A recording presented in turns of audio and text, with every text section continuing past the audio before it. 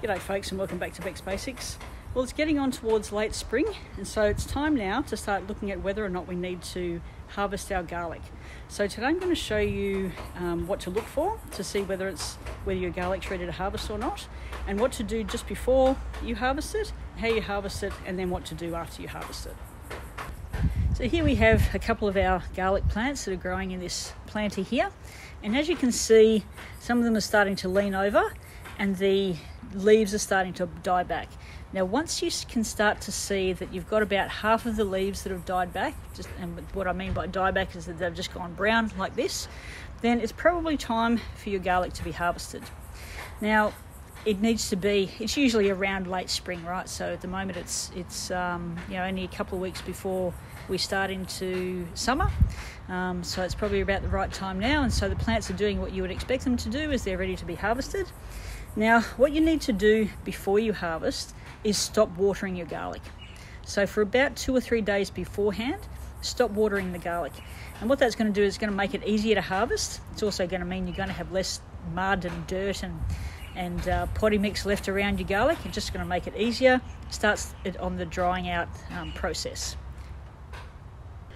Then once you've done that, after a couple of days of, of uh, no water, it's really just a simple matter of grabbing your garlic, and just gently pulling it out of the ground like that. And there you see, you've got a lovely head of garlic. This is a particular type that's got really large cloves, um, but if you've got a, a, different type, it might have um, it might have you know many cloves around it. Depends on the type you have. But you can see that's a lovely head of garlic.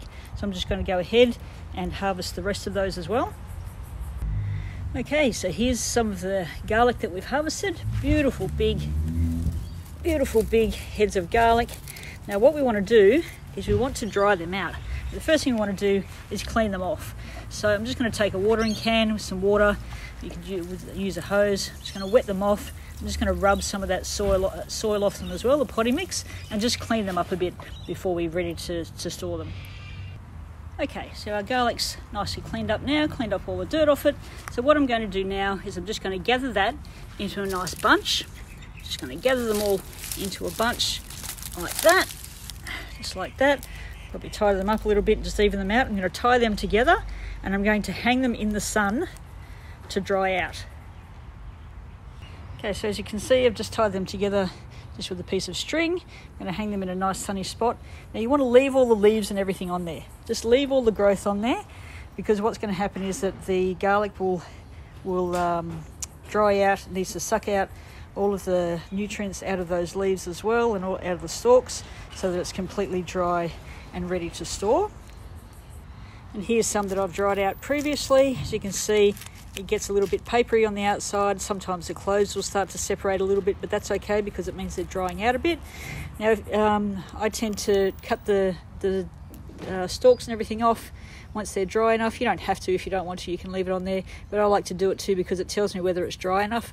Um, to store. As you can see, this one here, it's still a little bit green in the top there, so it needs a little bit more drying before I actually put it away to store. But once they're all completely dry, you just store them in a, um, a nice airy either box or a nice hessian bag, an old orange bag or something, an old you know cloth rice bag or something like that.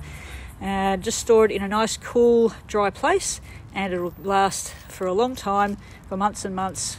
Uh, so that you can use it in your kitchen. So that's how to tell when to harvest your garlic, what to do to harvest it, and how to dry it and store it. Thanks for joining us on Beck's Basics, and we'll see you next time.